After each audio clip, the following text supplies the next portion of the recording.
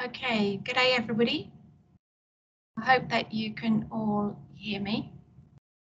Um, we'll start the session now. It is being recorded, so it will be up on YouTube. Having problems with the mouse.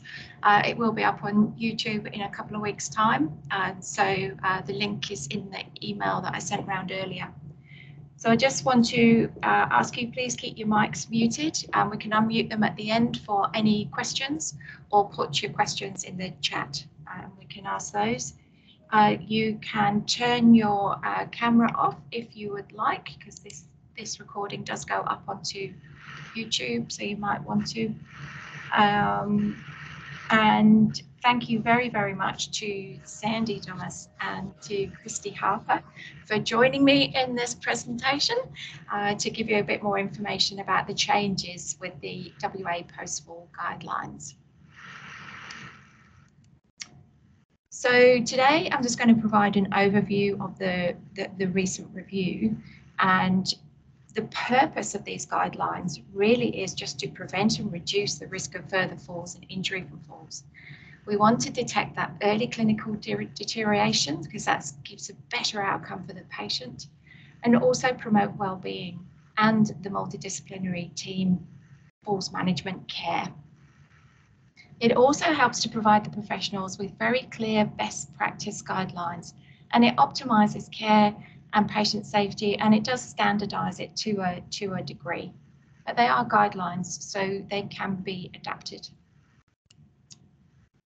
So what's the history of these guidelines? Well, back in 2011, 2012, uh, Sir Charles Gairdner actually had a quite a nasty um, incident, and a review of that indicated that we needed more clear guidance on post-fall care and that's when we developed these guidelines, we took them up to uh, Nick Waldron, who was then the state lead for falls, and he adopted them for WA. They've been reviewed in 2018 and just recently last year. They are multidisciplinary. Initially, it was just nursing, OT, physio, and medical. Uh, in 20, the 2018 version is recommended for use in residential care by the World Guidelines. In 2018, 2019, we added pharmacy into the disciplines. And this year we have added interprofessional assessment. We've expanded the definition, provided further resources. And 2025, you're very welcome to send in uh, any ideas that you have, but we are considering inclusion of injuries and how to get um, a patient off the floor if they have an injury. The overview of the process, it was a small review, uh, basically because of system constraints. You know, we were still in a pandemic at that point. The call went out via the COP and then via um, every distribution list that I could find for uh, working group members, public and private. And we review the guideline as a whole, but then we formed subgroups and there were identified leads for those subgroups. So Sandy was the identified lead physio and Christy for OT. We looked at, uh, we got expert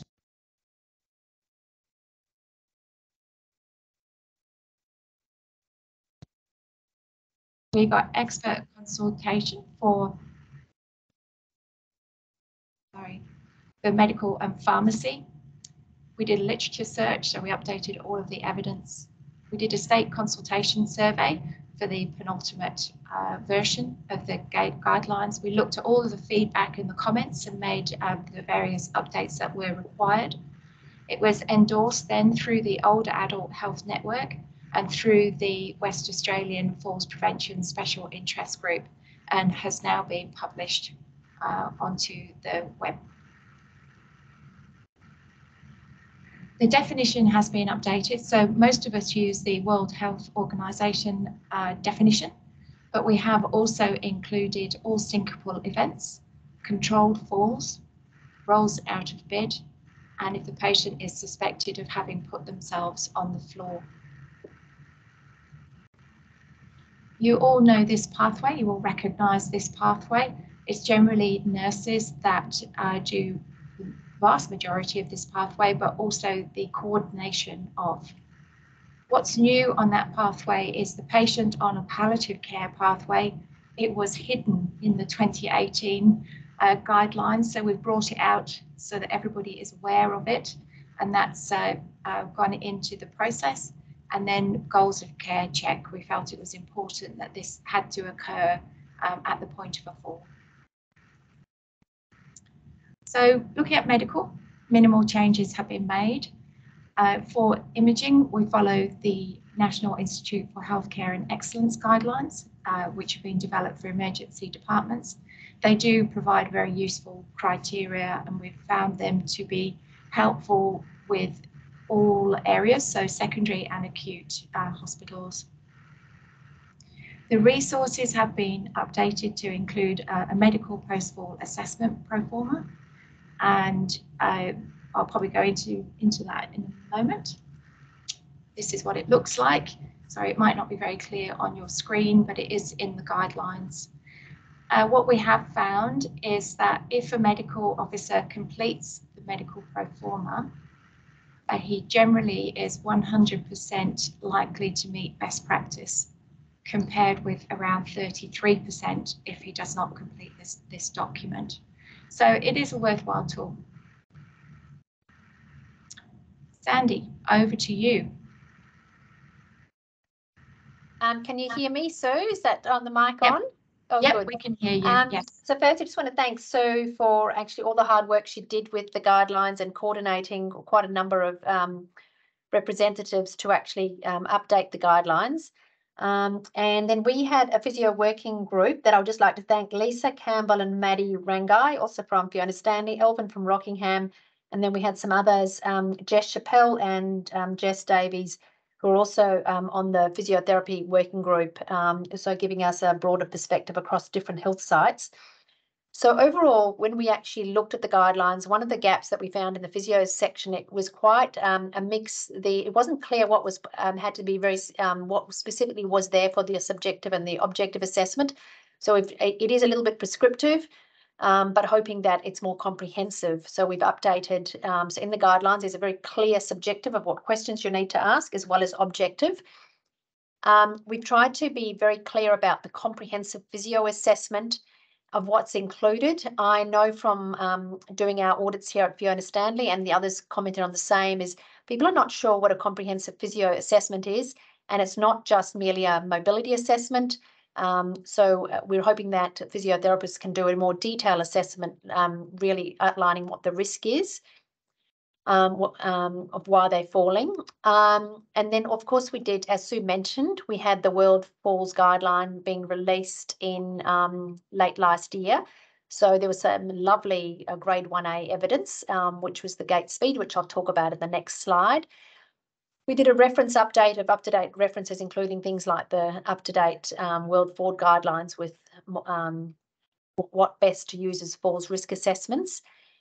Um, so the appendix, we updated the Falls cue card and we actually spent quite a bit of time updating the isobar as well as in adding in a SOE as well. If people preferred that, it's really a, a site preference or a person preference.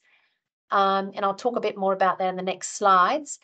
We have kept the review still within two working days, but the, if, uh, if a particular site want, wants to do it within tw um, 24 um, hours, like ours at Fiona Stanley, where we do have a 20 a seven day a week service, um, but across the state where physios do not always work um, on the weekends, it's um, still within the two working days. Thanks. So did you want um, the next slide? Are you able to put that up?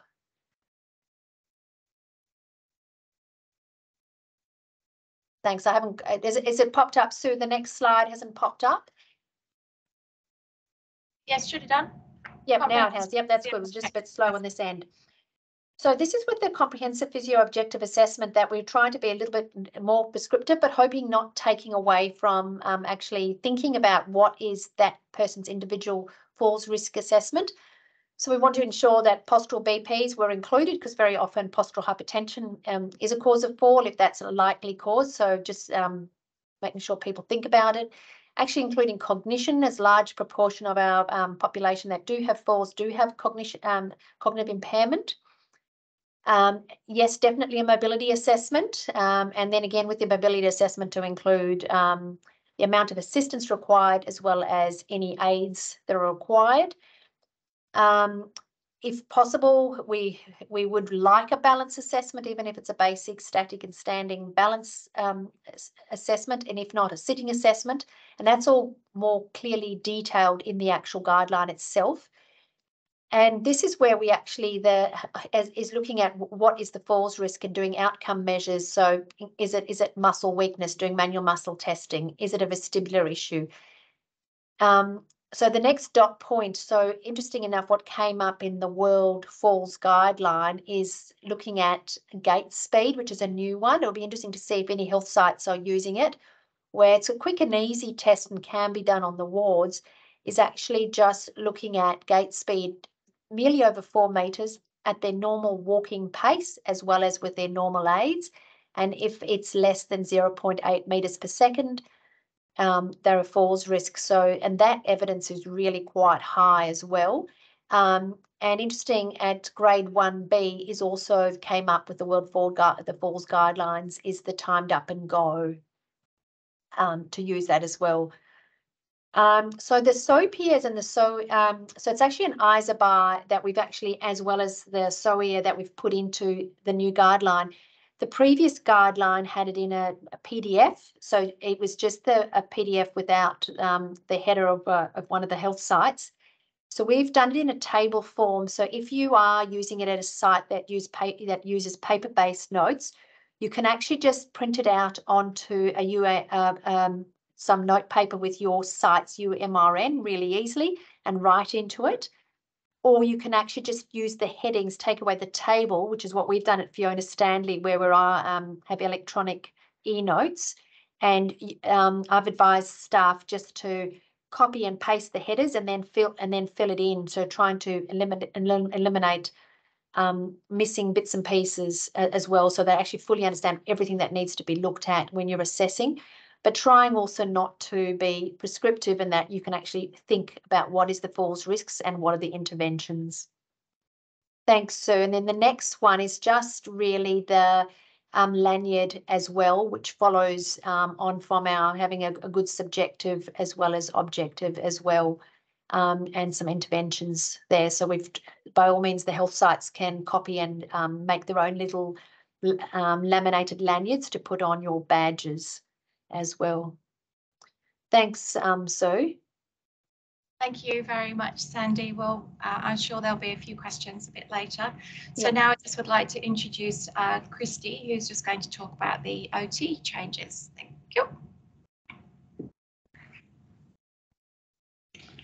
Hi, everyone. Thanks for being here today. Again, uh, yes, thank you to, to Sue for getting us all organised and to um, the OT working group. We had a great group from across the state. So we had Carly and Prue and Pen and Ashley from Fiona Stanley Hospital. We had Ashley and Catherine um, and Samantha from across um, WACHS and Nikki from um, Charlie's um, Osborne Park as well.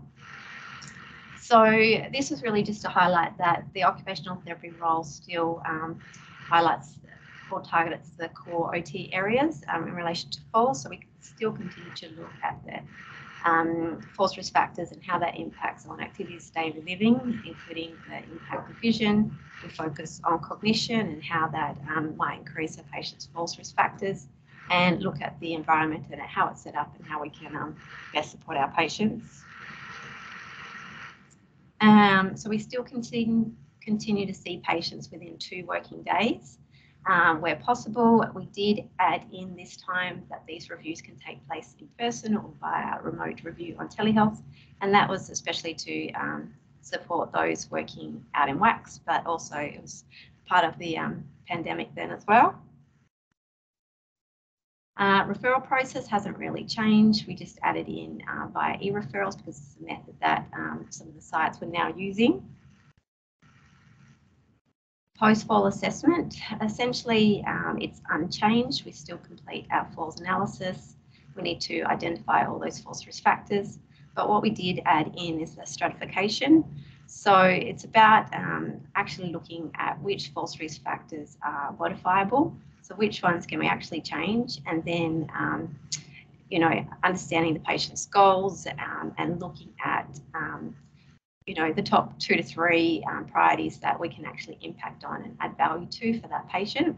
So it's, it's really just about um, setting a plan which aims to target the most important factors for that patient.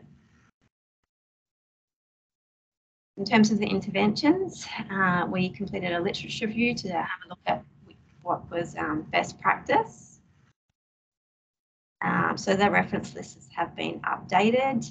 Um, and what we have added to the intervention is that all patients and their carers should be provided with written and verbal tailored falls prevention education.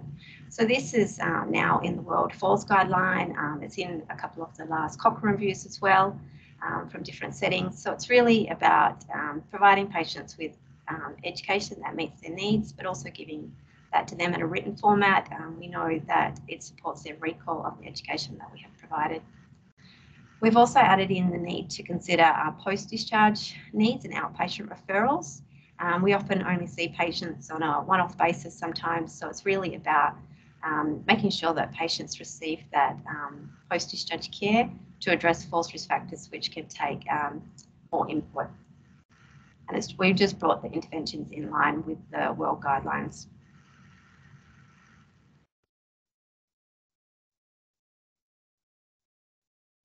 Okay. Uh, so OT um, continues to have the appendices, um, appendices which have the tables where we've outlined the risk factors um, and then specific OT specific um, interventions. Um, so these I know are used quite a lot by our staff, um, but in terms of the different areas, they're broken up into ADLs, vision, environment, cognition.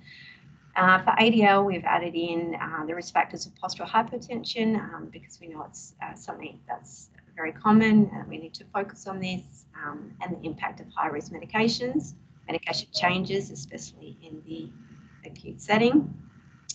In terms of um, changes to the interventions, we've added in the provision of um, small aids, also recognising hospital functional decline. So um, just recognising that we need to keep patients as um, and to maintain their function as best we can. So it's really looking at not restricting activity, it's about supporting their function as much as we can.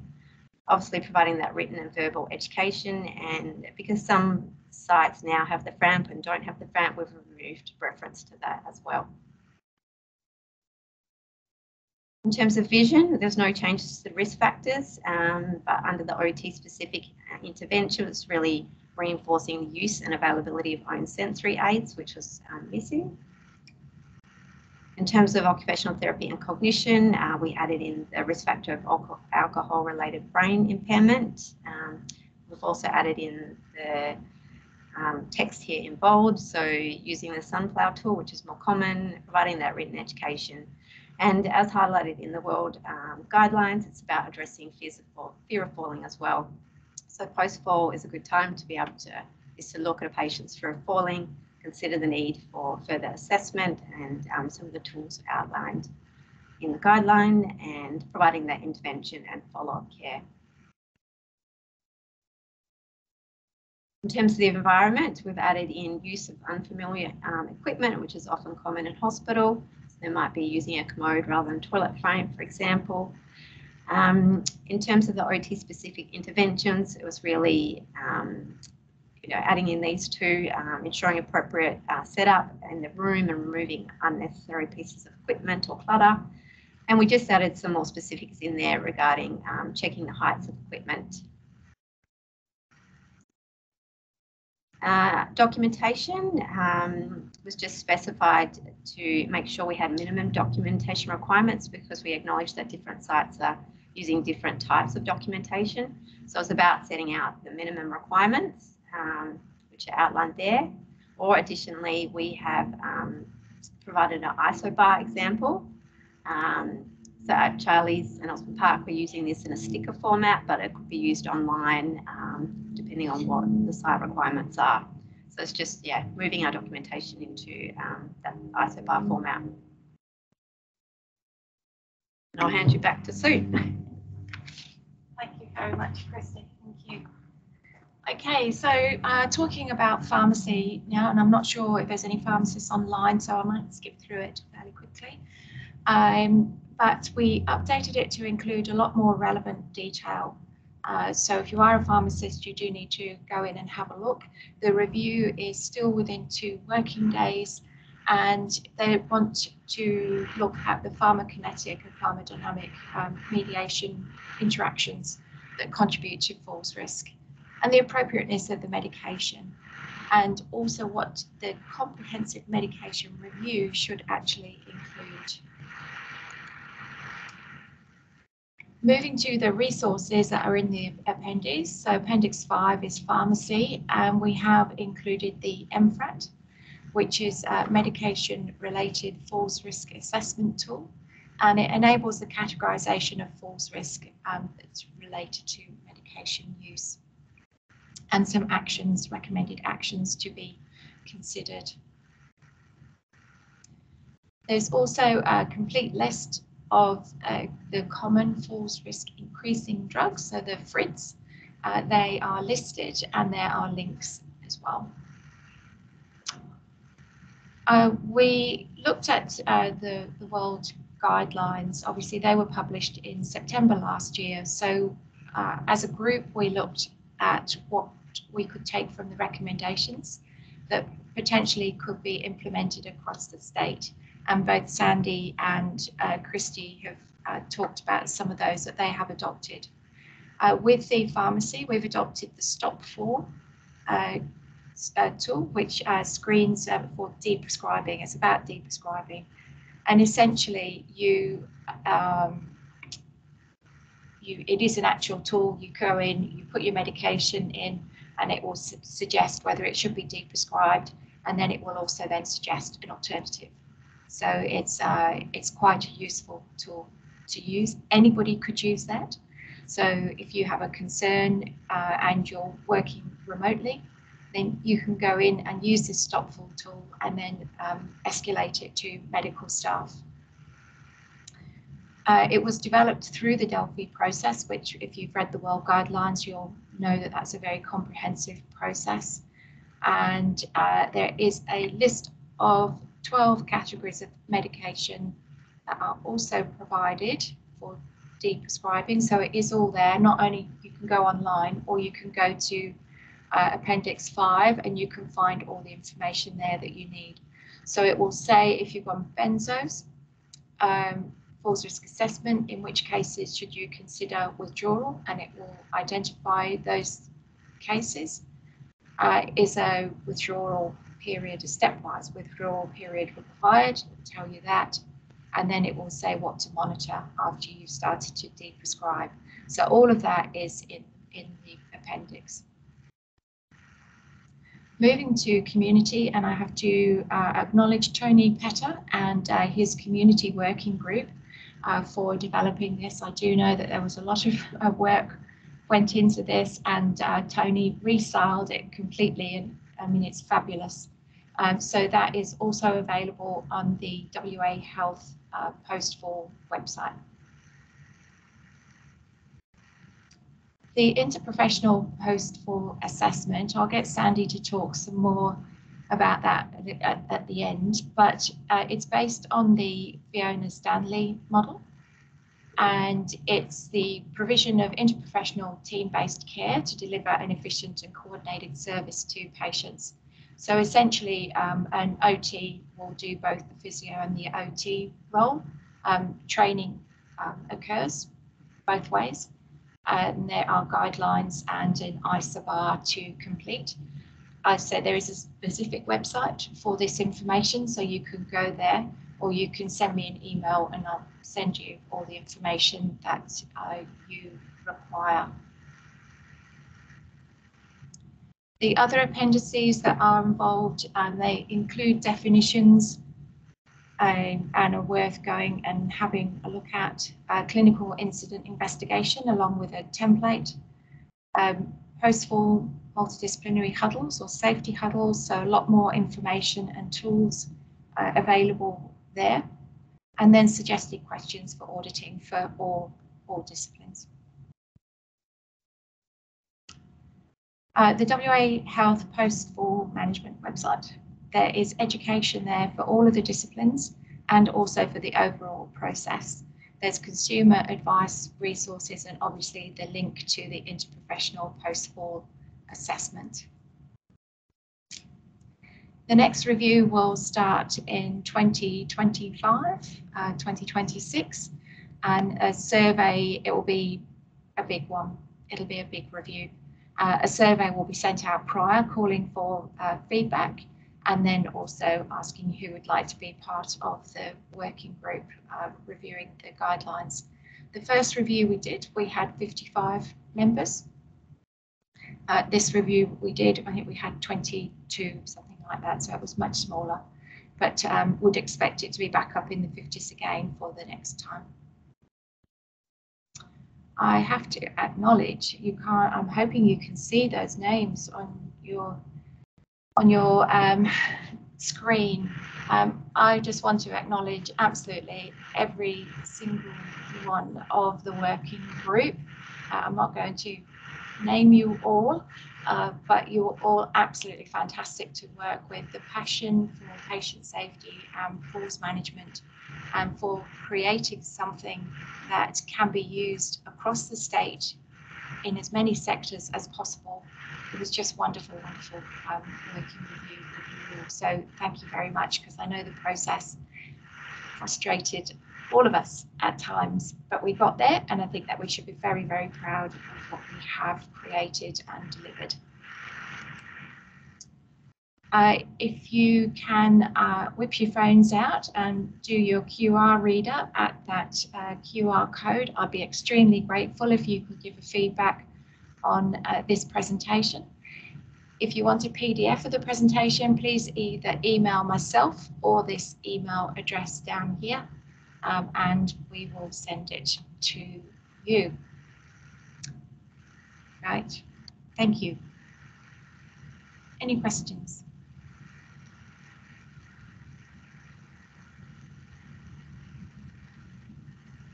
Dead silent.